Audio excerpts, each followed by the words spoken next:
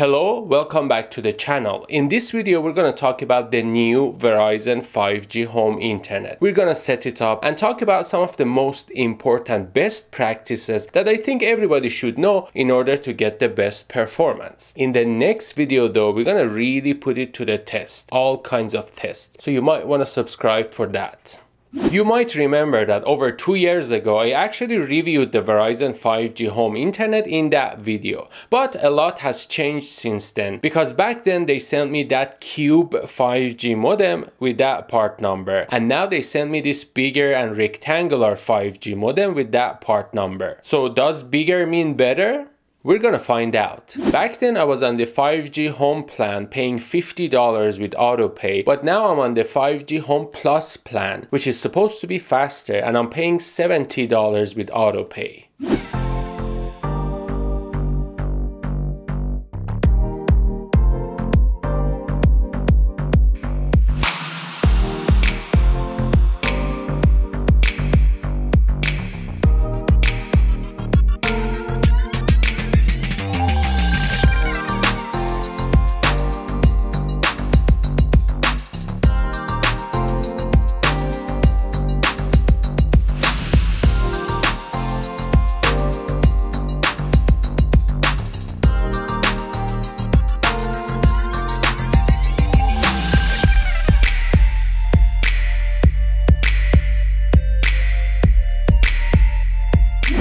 New modem is bigger compared to the older one. It has an LED status light, a 5G signal bar to show your connection strength, and a Wi-Fi status light. It also has two LAN ports and one USB-C port. Now, the previous one was dual band Wi-Fi 6, but this one, although it is also labeled Wi-Fi 6, seems to be Wi-Fi 6E because it is tri-band with the third band being 6 GHz. So it should be Wi-Fi 6E, not Wi-Fi 6 weeks.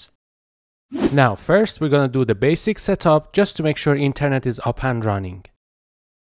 First, plug in the power adapter and connect the modem to a power source. The best spot for it is usually somewhere close to a window to get a strong 5G signal. The gateway's blinking white light means it is starting up. Once the gateway shows a solid white light, the setup is complete. If it shows solid red, it means there is no 5G signal and you should try a different location. As you can see, we have a solid white LED light, two 5G bars out of three, and the Wi-Fi LED is solid white, indicating the Wi-Fi is ready and being broadcast. The default Wi-Fi name and password are written on the bottom of the gateway. You can use these to connect your devices to the Wi-Fi and test the internet connection. Now, this was the very basic setup. Many people stop here and keep using the Wi-Fi as is. But there are some advanced features you can use to improve your network. For example, you can change the Wi-Fi name and password to something you like instead of using the default name. You can create guest Wi-Fi for your guests, IoT Wi-Fi for smart home devices, change the security and firewall settings to make your network more secure, use port forwarding, and many more. So now let's take a look at some of them and make some changes. For the advanced setup, I need to log into the web interface of the gateway or use the My Verizon app. I prefer using a computer, so I'll demonstrate that. On a computer connected wirelessly or wired to the gateway, open a browser and type in the gateway's IP address, which is 192.168.1.1. The login password is also on the bottom of the gateway. Once logged in, first let's change the default Wi-Fi name and password. Change the view from basic to advanced. Then go to the primary network under Wi-Fi where you can change the Wi-Fi name and password. The 6 GHz band is disabled by default, so I'm gonna enable it.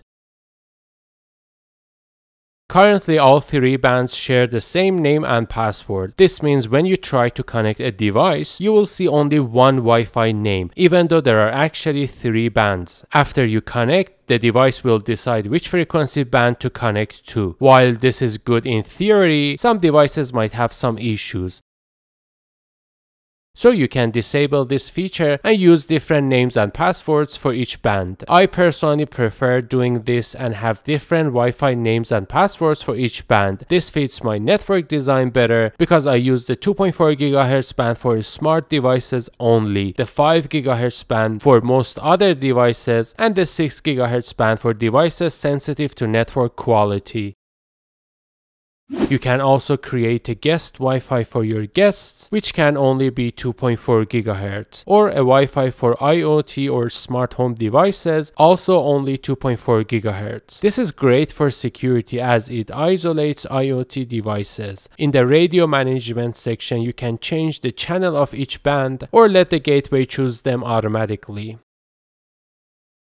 There is also a channel analysis section showing channel utilization in your area, helping you decide which channel to choose. In case you need more information about this, definitely check out that video where I talk about it in more detail.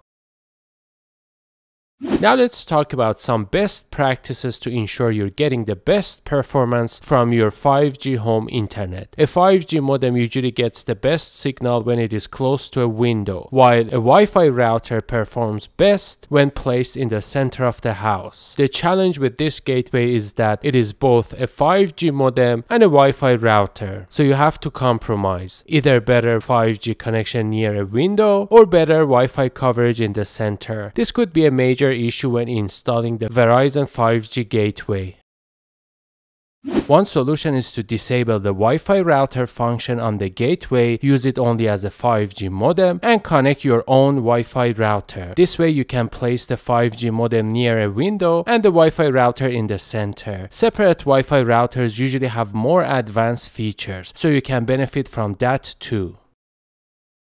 Now you cannot just connect your router to the 5G modem because this creates double NAT issues as you will have two routers in your network which should be avoided. You need to enable IP pass-through mode on the gateway. This disables the Wi-Fi router function and turns the gateway into a modem only, preventing double NAT issues. In the new gateway, enabling IP pass-through is buried in the menus. First, go to the Advanced menu, then Network Settings, Network Connections, Network Home Office, Settings, and finally enable IP pass-through.